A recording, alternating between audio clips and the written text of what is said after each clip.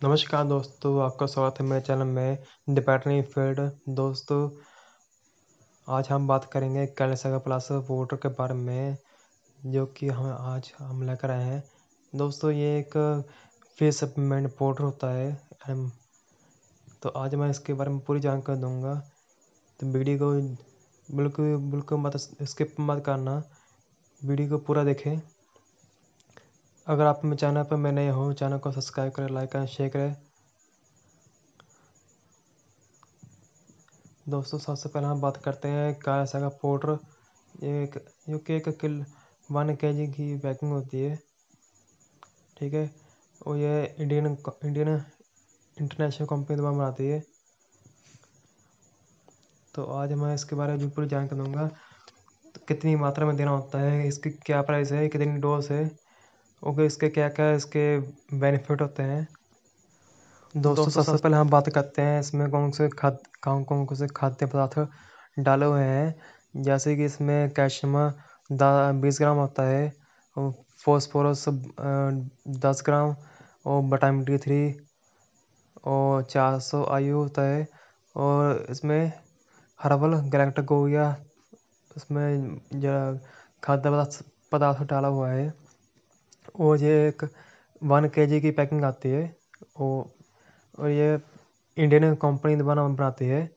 दोस्तों, अब हम बात करते हैं इसका क्या काम करती है। दोस्तों, यदि आपके घर में गाय, भैंस, भेड़, बकरी हो, यदि दुधारू पशु हो हो, यदि आपके पशु में कैल्शियम कमी आ गई हो, कैल्शियम, फॉस्फोरस, विटामिन डी की कमी आ जाती है तो तो उस उस उस, उस समस्या को दूर करने के लिए काल सागर प्लस पोटर आप दे सकते हैं अपने पशु को जिससे कि आपके पशु में कैल्शियम विटामिन डी की कमी दूर हो जाएगी।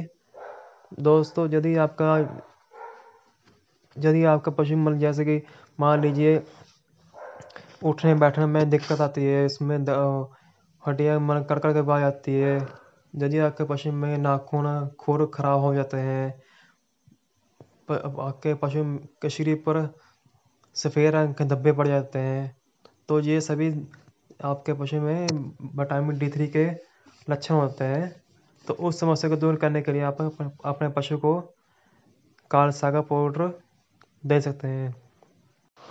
दोस्तों, आपने देखा होगा यदि आपका पशु सोने के बाद कमज़ोर पड़ जाता है आपका पशु दूध देना बंद कर देता है, जो दूध की मात्रा कम हो जाती है यदि आपका पशु मतलब मिल्क फेवर हो जाता है तो उस समस्या को दूर करने के लिए आप अपने पशु को कासा का प्लस पाउडर दे सकते हैं, जिससे कि आपके पशु में दूध की मात्रा बढ़ जाएगी और दूध की फैट बढ़ जाएगी और दूध की, दूध आपका देना शुरू कर देगा।